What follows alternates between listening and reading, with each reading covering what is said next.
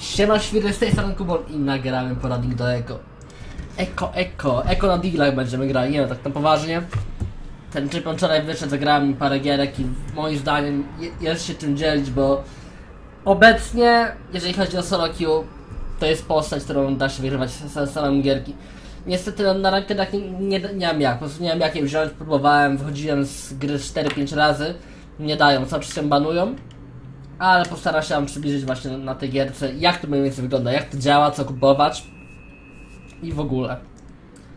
Ogółem postać po pierwsze wydaje się strasznie, strasznie przyjemna do gry, a po drugie wydaje się chora, jeżeli chodzi o obrażenia, o mobilność, ma wszystko. Eko ma praktycznie wszystko. Sa samego ulti ma przelicznik chyba 130% za więc to jest chore. To jest kurde chore. Powiem, że 3,5 godziny starałem się wybrać eko, żeby móc cokolwiek nim pokazać. Znaczy zagrać, tak? Cztery razy na rankedzie, raz z gierka wystartowała, jak nie grałem eko. Na, na normalach to niezliczona ilość razy. No dobra, zobaczymy, zobaczymy. Ja osobiście wolę zacząć z butelką. Czemu? Bo eko jest mele postacią. Ja spotka na jednego. A co gra nam idzie? Tom.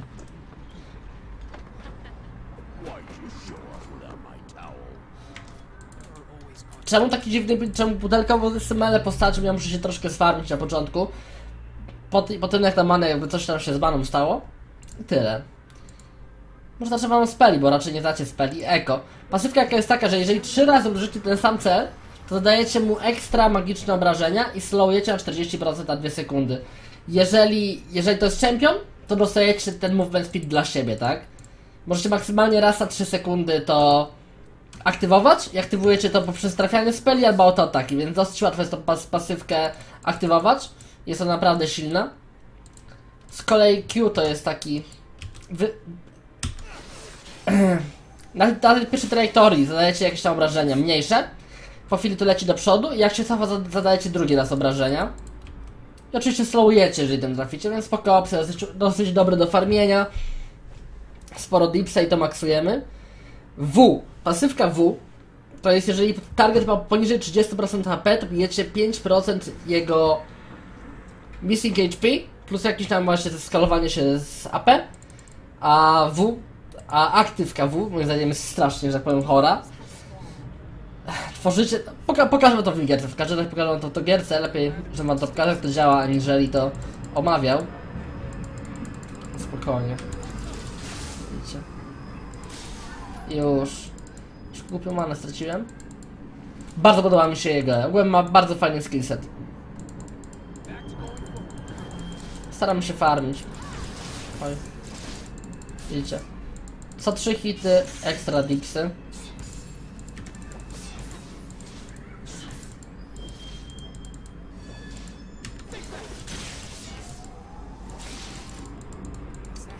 Głupie potkę wypiłem, ale dobra, nie ma lipy. Nie no, z tego co widzę muszę, muszę jako tako defensywnie farmić, żeby tak na po trzecim levelu będę mógł robić coś agresywnego.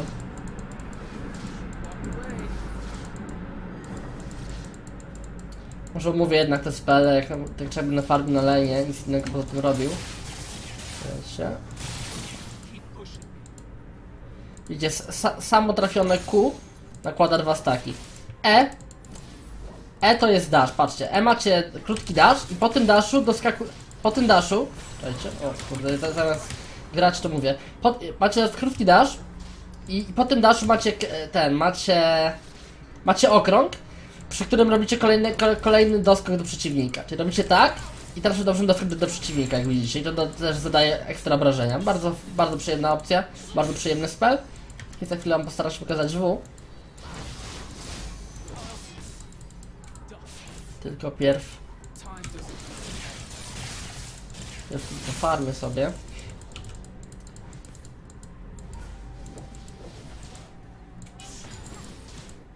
Bo to jest coś takiego, patrzcie, rzucamy takie coś, on tego nie widzi i w tym momencie to widzi, ale dostanie stuna, jeżeli ja to skoczę. Prawda? O, zajebiście, dali. W to właśnie tworzycie takie jakby pole magnetyczne. Przez 3 sekundy on tego nie widzi. W momencie, w którym ten właśnie ten jakiś, to urządzenie wystrzela. Patrzcie, jeszcze, jeszcze, raz, jeszcze raz wam to pokażę. W tym momencie oni tego nie widzą. I że teraz w tym momencie, jeżeli wskoczymy to, to dostajemy dosyć dużego shielda i targety są stunowane na 2 sekundy. Więc bardzo spoko opcja. Troszkę to chaotycznie tłumaczę, ale mam nadzieję, że, ro że rozumiecie. Ogóle bardzo fajnie jest właśnie, to jest w stylu, że walicie Q, doskakujecie i wchodzicie w ten target i on właśnie, ma, ma z miejsca trzy staki na sobie praktycznie. Bardzo...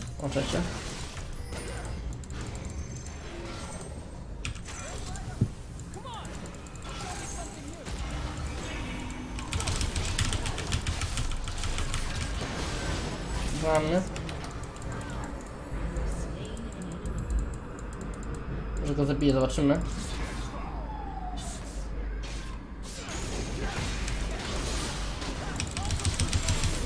Zajebiście. Zresztą to, to nie jest ranked game niestety. Więc no, to nie są przeciwnicy jacyś najlepsi, ale po prostu sam pokazać jako taką zasadę działania tej postaci. Jak te spele działają. Ogółem moim zdaniem core itemami są po pierwsze jest Ludens Echo i Liczbej, co nie? W sensie dzięki temu bardzo mobilnie, tak Echo to jest mele postać, która no ma, ma te, ma speed, ma te shieldy, tak? Ale no jednak jednak jako taka, żeby wal, walnąć dipsy musi wejść w tego czempiona, więc movement speed jest bardzo dobry. Dosyć małe cooldowny na spelach. Jest też mele czempionem, więc łatwo mu się używa tego Lichbane'a. Mam nadzieję, że dojdziemy do tego momentu. Znaczy, możecie robić coś takiego, że wchodzicie w to miejsce i on teraz tego nie widzi. I w tym momencie wskakujemy i hop, o, nie masz. A tak się jak spali flasza, więc worth it.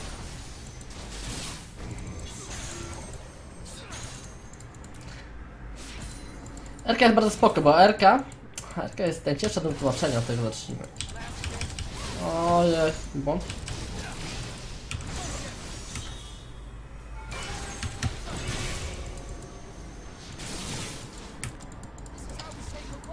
Ale to tak jakby cofa czas, to za chwilkę zobaczycie. Potrzebuję pierwszy bić. Potrzebuję... O, czekajcie, na midzie jest ten... Na midzie jest Xingzao. Więc mogą być kłopoty. Na szóstym levelu byłem w stanie ich dwóch zrobić, ale no nie, nie będę niestety. Nie trafię go, po niego wchodzę. O, nie musiałem nawet. Bardzo fajnie to było to jest cała postać, dos dosyć ludzie do końca nie wiedzą jak to wszystko działa i myślą, że to QBie raz i tak naprawdę wali to dwa razy, dosyć duże obrażenia.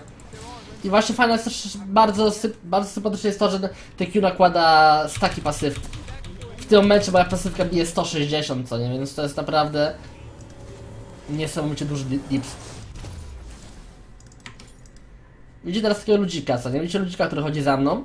To, to jest mój cień i on jest 4 sekundy za tym, co robiłem. Jeżeli klikam Merkę, teleportuję się w to miejsce, gdzie byłem 4 sekundy temu i leczę się za 100 plus 20% y, HP, które dostałem w ciągu, te 4, w ciągu tych 4 sekund, obrażenia, które przyjąłem, leczę się za 1 czwartą ich, plus tam jakieś skalowanie od DP, plus zadaję dipsy. Oczywiście zadaję dipsy w miejscu, w którym byłem 4 sekundy temu. Ten spell ma 130% przelicznika, więc no posiadając już dwa itemki praktycznie na, na samą R i Q jesteście w stanie zabijać. Tylko jest głównie grając jako bardziej używamy R do ucieczki. Zobaczcie. Ojej. Dobra.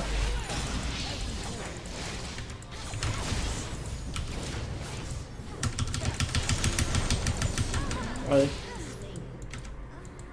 No, zdisplayowałem to, ale widzę, że troszkę się spłakał ten Sinzao i trenuje.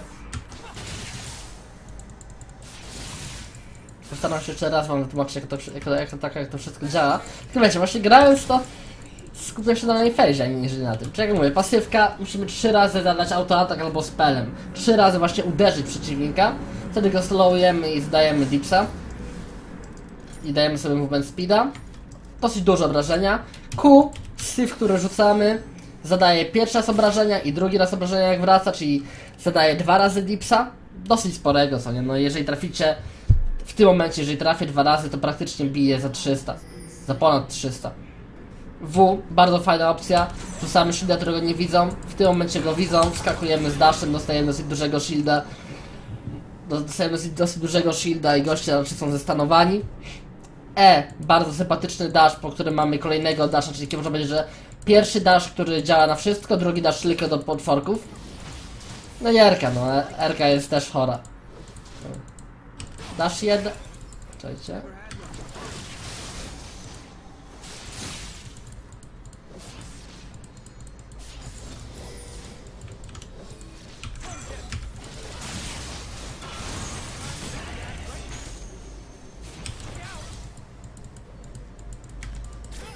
Postaram się wam pokazać jakie ma dipsy ta Erka, tylko no... Widzicie, teraz w tym momencie jakby to była Ari, wykliknął bym praktycznie zabił, zabił jej połowę HP na jednego spela. Dobra, mamy tego. Walniemy tak. Ma strasznie duże ręcze, jakby nie patrzeć.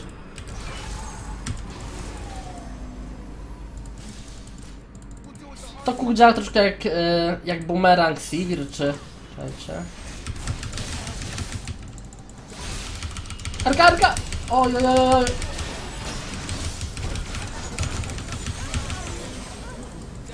Dobra. Wyszło. Jako tako spoko to wyszło. Niestety nie, nie zdążyłem użyć, użyć W, co nie? Ale właśnie W ma ten delay 3 sekundowy, więc... Nie, nie, zawsze da się tego shielda, wrzucić, ale jak na... Jak na posiadanie, posiadanie jednego punktu w umiejętności dostajecie prawie 300 shielda i stunujecie na 2 sekundy, to jest chore. Pusta pasywka. Ogółem y, strasznie, strasznie duże ma, ma skalowanie się za, skalowanie się za P eko. W tym momencie Sam widzicie, moja RK bije plus 222 dipsa, gdy mam 170 AP. Pasywka bije po 240. Mając Suden Secho jestem w stanie moim zdaniem zrobić. Jeżeli zagram dobrze, mogę zabić nawet dwóch przeciwników w tym momencie na gangu. Widzimy, że nie wiem, jako tako mają chłopaki do, dobre itemy. Tylko Dari, no, ale już nie, nie ma co zrobić. Oj. Dobra. Na będę miał dasze, raczej ją zabiję.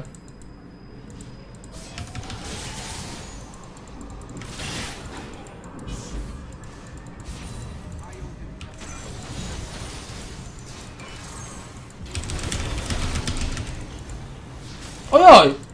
Misplewałem, zmisplewałem strasznie. Musiałem, nie, nie uderzyłem drugi raz z kusa, nie? Przez to nie zabiłem. Mając 5-0 gość powinien być martwy. Tylko i wyłącznie mój błąd.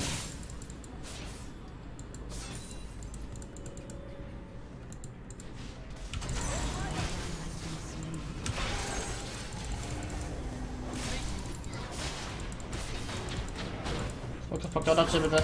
Oj. Erka! Dobra. Kurde. Nie spodziewałem się Wayne, gdybym wiedział, że będzie Wayne na midzie, to raczej bym się wycofał, tak? Ale no... Samą Antywisą byłbym w stanie zrobić, ale no... Wayne to jednak za dużo.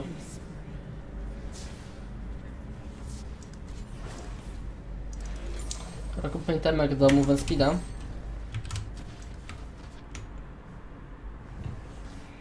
Najlepsze w tej postaci jest to, że ona nie jest najsilniejsza w early game, co nie? Tak mo- moim zdaniem, bo jeszcze ona, ona z tymi chorymi przeciwnikami potrzebuje tego jednego, dwóch itemków, żeby właśnie być tak totalnie OP. Ale nawet bez tych itemków jest w stanie robić spokojnie postacie w jeden na jeden. Ogółem RK, jeżeli jesteście w stanie kupić szybko itemki macie homeguardy, możecie używać RK na jako teleportu. Po prostu podsuwacie do bazy, kupujecie homeguardy, klikacie od razu RK. Jeżeli zrobicie to w ciągu 4 sekund, to pojawicie się znów na midzie z full HP i życiem. Bardzo przyjemna sprawa. Postaram się zrobić kombo, żeby ją zastanowić. Zobaczymy, czy mi wyjdzie. Zostawmy tak. Nie, wyszło mi.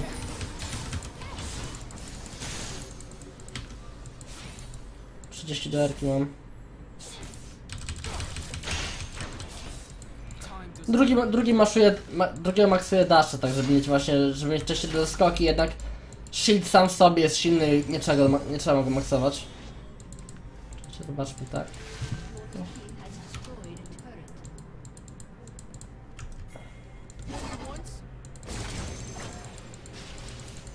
Idziemy szczerki.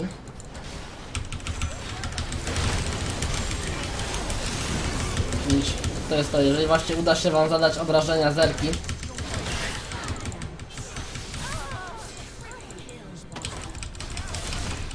Ojej. Błąd. Ale jeżeli właśnie, jeżeli, jeżeli ktoś, że właśnie chase'ują was przeciwnicy i tak bardziej biegacie w kółko, to jesteście w, sta jesteście w stanie tą, tą merkę wysadzić. To się dzieje, że tak powiem, kolokwialnie totalny rozpierdol, co nie?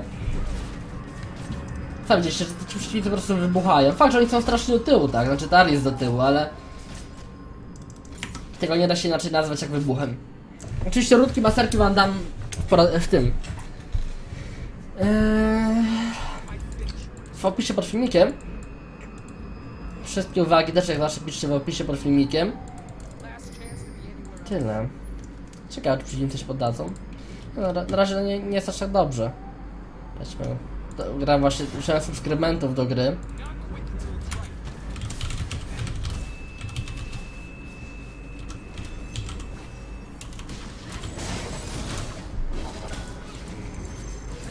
Dash, doskok.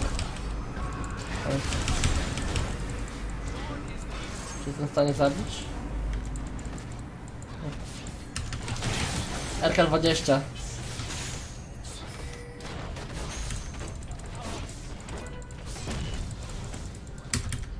Tak, tak, podarałem moich subków, z którymi gram. Bardzo sympatyczne osoby. Jeżeli będziecie, będziecie właśnie na iście, to was do, dodaję do gierki poza streamem, to właśnie znaczy bardziej, żeby nagrać coś, to nie? Bo nie zawsze, nie zawsze jestem w stanie nagrać filmik na rankedzie. Czasami po prostu postacie jest ciężko, ciężko dostać. Właśnie widzicie. Także jak tak biegam w kółko jako tako, to ten klon jest cały czas koło mnie i widzicie, tu, tu macie ręcz, który łapie właśnie moja erkę, na którym zdaje obrażenia.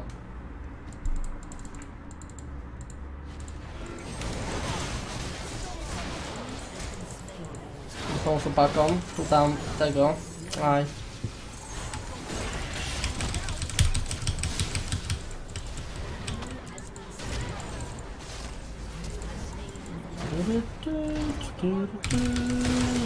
O! Grzegorz zabrał mi killa. dobra, dobra, byłem greedy. Zdarza się. Happens, tak?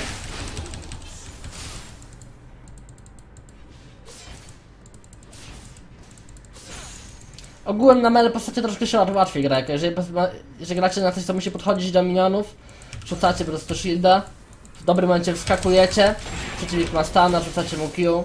Możecie też rzucić Q przed skokiem, wtedy szybciej się zaaplikuje slow z tego Q.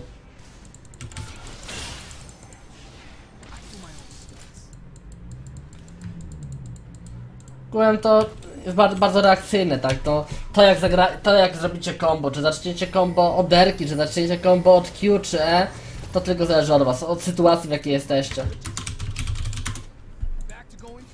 Wezmę potkę. Ro- Nautilus kupuje Sunfire'a, nie polecam, nie, polecam kupować Sunfire'a na supporcie, jeżeli coś kupujecie na supporta, to musi być to Locket, to musi być to Mikael, ale nie, ale nie Sunfire, Sunfire pizzy wam nic nie daje.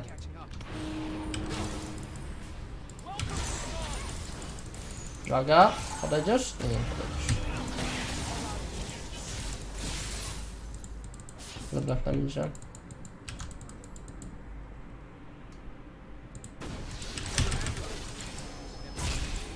Aha.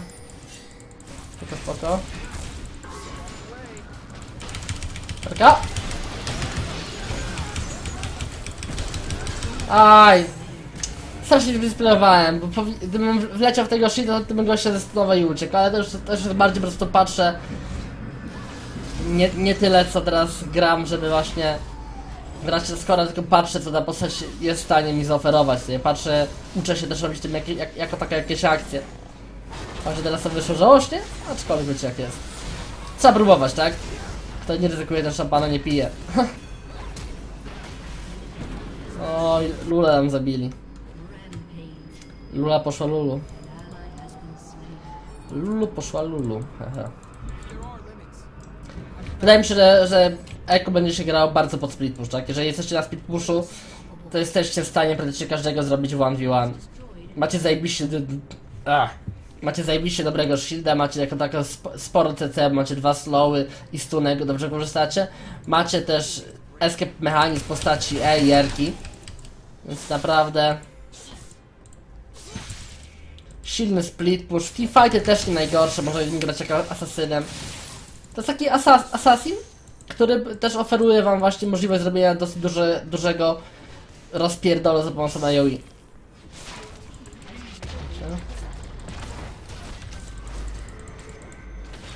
Spróbujemy sobie zagrać. Za 4 sekundy jakby tutaj podeszli, to byłoby spoko.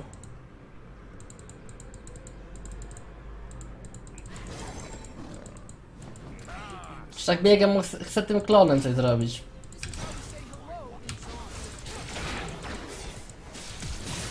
Czemu, czemu gram Ludens... Jać. Och, ten grzybiosz. Czemu gram Ludens? Jak liczbę po pierwsze boostuje to dosyć, dosyć mocno wasze, wasze, wa wasze combo. Daje wam bardzo dużo, dużo movement. Movement speed, movement speed jest strasznie spoko rzeczą na, na echo. Postaramy się. Teraz combo. O, spierdoliłem wszystko, dobra. Nie oglądajcie moich poradników. Nie są, nie są warte was. To był double kill, panowie, to był double kill. Tylko paluszki nie, nie pozwoliły na to. Ogólnie jeżeli robię takie coś jak tutaj powinienem już w miejsce, gdzie będę miał erkę, rzucać w, żeby jeszcze mieć stana i żeby mieć już przygotowanego stuna. A co zrobicie? Jestem nobem. Ale sam, sam fakt combo, w którym nie użyłem nie użyłem dobrze Q, tylko użyłem RK i ja praktycznie zabiłem dwóch z miejsca, pokazuje jaka ta postać jest chora. Jaka ta postać jest chora.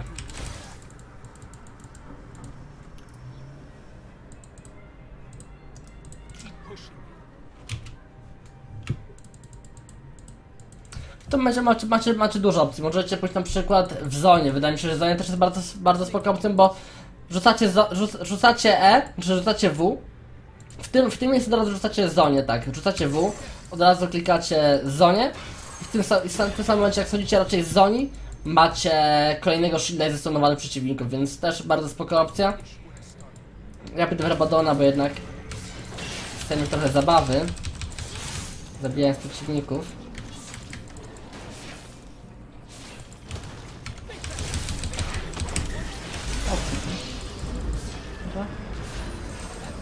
Zabił chłopa. Nie musiałem, nie musiałem marki używać, ale chciałem być pewny, że zabiję, także zrobiłem parę... Zrobiłem parę misplay. Widzicie, biłem w smoka plus 140 dipsa ekstra.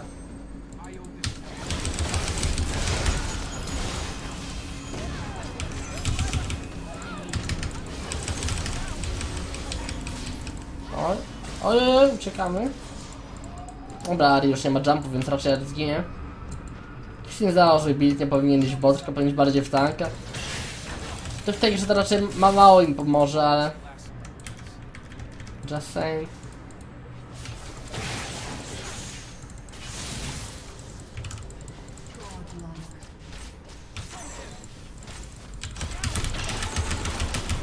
Dobra. Mamy kontrę na echo. Jest to Vayne. Trzy razy już zginąłem przez to, że gość mi zniknął. Zginąłem głównie przez to, że się podniecałem. Nie. Pójdę tej grze w tego, w Abyzalka. Spoko opcja wydaje mi się, bo nie mam Magic Resista na runach, bo gram runę full AP, żeby właśnie wykorzystać to skalo- fajne skalowanie się. Więc Abyzal będzie spoko. Troszkę penetracji, bardziej, że mają praktycznie zero Magic Resista.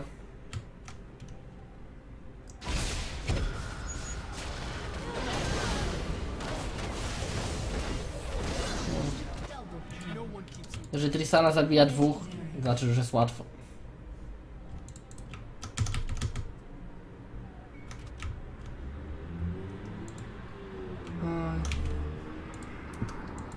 Co mam powiedzieć o tej postaci? Zajebiste ku. Powiem wam, że w tym filmiku widzicie, że, te że troszkę źle wykorzystuje W. O, dobra, mamy, ko- mamy koniec. Mamy, mamy koniec te... O! Co tam się jeszcze? Mamy koniec tego niesamowitego spotkania. Dzięki, że obejrzeliście. Zapraszam do komentowania, lajkowania, subskrybowania. No i tego co tam mówią wszyscy inni, czyli standardowo, tak. Jeżeli macie jak- jakieś rady, porady, to wam się nie podobało, to piszcie, jak, jak zawsze. Postaram się wziąć do siebie, do serca i to naprawić. I tyle. Wszystkie informacje będziecie mieli pod filmikiem.